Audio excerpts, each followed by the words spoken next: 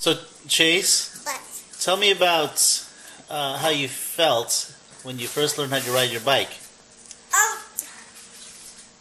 I was Would, would you like a little water, Down the hill when I was what?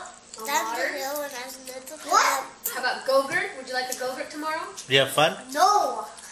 Thank you. How, how did it feel? Good. Yeah. Did you feel? Did you feel like you were going fast? I was, I was, I thought I was falling down.